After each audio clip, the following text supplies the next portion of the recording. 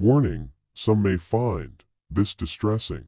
A young family feared for their lives as a gang of five men wielding machetes, knuckle dusters and knives terrorized them as they broke into their home. CCTV footage captures the moment.